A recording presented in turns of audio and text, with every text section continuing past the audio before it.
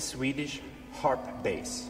It's a new instrument designed uh, by me uh, in a computer program. It's uh, 3D designed, so I um, designed it and 3D printed it actually, and then I wrapped it in carbon fiber.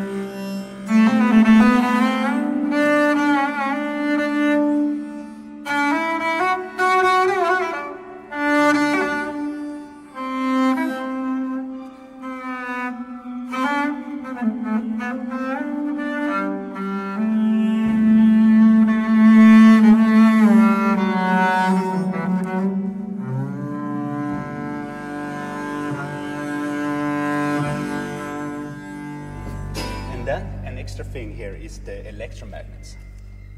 Uh, it's a work in progress, as you can see. There are some tape here, but uh, you can see them here. Electromagnets, eight of them.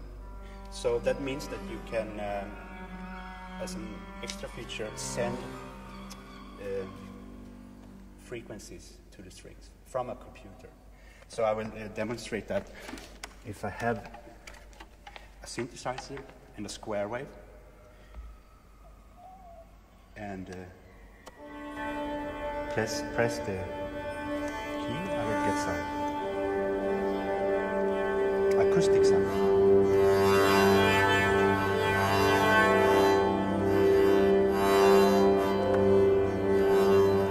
Different octaves.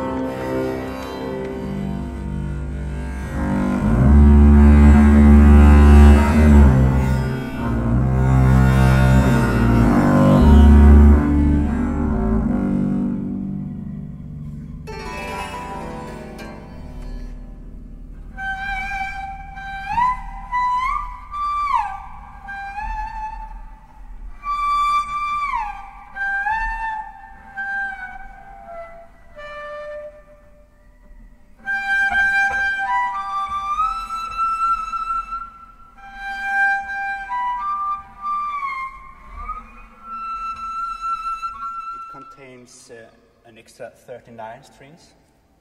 I have the treble strings on this side. They are tuned in uh, a, a, favor, favorable key, and this is uh, G major. And uh, then we have the bass strings. Uh, it's um, tuned in G minor at the moment. So when you play uh, frequency the bass. Um, you can play a G, for example. Then the resonant strings, resonance strings start to vibrate, or you can also call them sympathetic strings. So if I play this, you get C, and if you're lucky, you get the fifth.